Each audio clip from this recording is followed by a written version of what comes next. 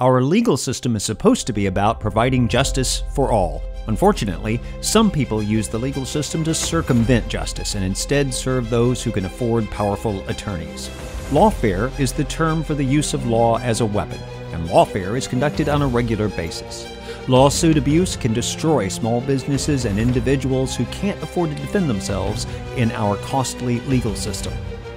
You may be familiar with the example of the Church of Scientology, which has filed thousands of lawsuits against newspapers, magazines, government agencies, and individuals whom they consider suppressive.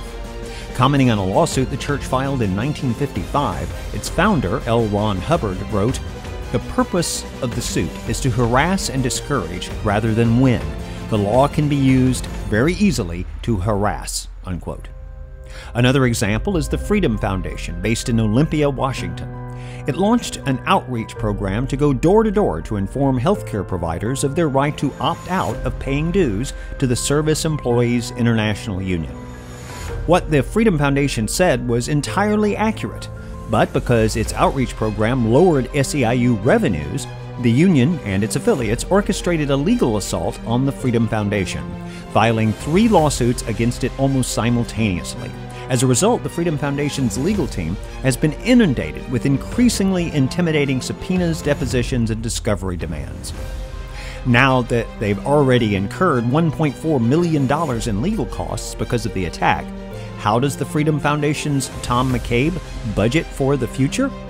He said, You don't. You can't. It's impossible.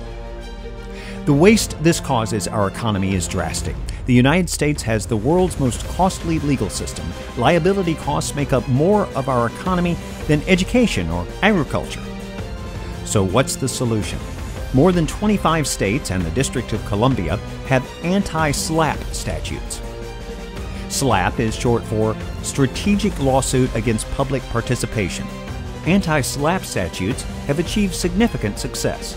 Even more importantly, unlike the US, nearly every other Western democracy works on a loser pays principle, which means the losing side in litigation pays the winner's attorney's fees.